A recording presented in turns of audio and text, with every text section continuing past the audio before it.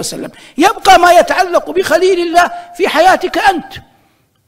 كل فرد منا لا يمكن أن يخلو مما يعكر حياته مما يكدرها. لقد خلقنا الإنسان في كبد وهذا لا يمكن أن يقضي إنسان حياته كلها ولما يعترضه معترض. لا يمكن أن يقع هذا. لكن ما يعترضك قد يكون غير ما يعترض أخاك. لكن الإنسان في كل أحواله ليس له إلا الله. في كل أحواله ليس له إلا الله. وقد تجلى توكل خليل الله على ربه في أمور عظيمة. يكفي قول الله فلما أسلم وتله للجبين عندما أمر بذبح ابنه. وقد تجلى في حياة إبراهيم ما كان في قلبه من رقة وشفقة على الناس. الناس جبلوا على أنهم يحبون ويجلون من يرون في قلبه الشفقة عليهم ولو كان ظاهر أمره النكال والعقوبة.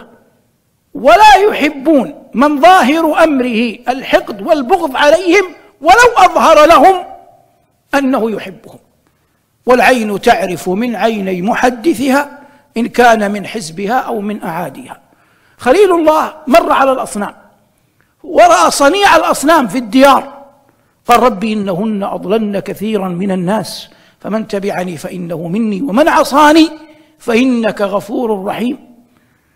هو لا يعني أنه يفقه أن الله عز وجل يغفر ويرحم لمن أشرك به هذا من قواطع الشريعة التي لا تكون لكنه يقول بلسان الحال والمقال لمن حوله هذا الذي أقدر عليه؟ ولم يسأل الله المغفرة لهم لكنه أخبر أن ربه غفور رحيم. ايا كان تفسير العلماء للآية لكن تظهر لك ما كان في قلب إبراهيم عليه السلام من الشفقة على الناس. والإنسان كلما كان رحيما شفيقا بمن حوله كان أقرب إلى الله. وقد أثنى الله عز وجل على خيار خلقه بهذه الصفة. يا يحيى خذ الكتاب بقوة وآتيناه الحكم صبيا وحنانا من لدنا. وزكاة وكان تقيا وبرا بوالديه ولم يكن جبارا عصيا. هذا كله يستسقى من خبر خليل الله إبراهيم.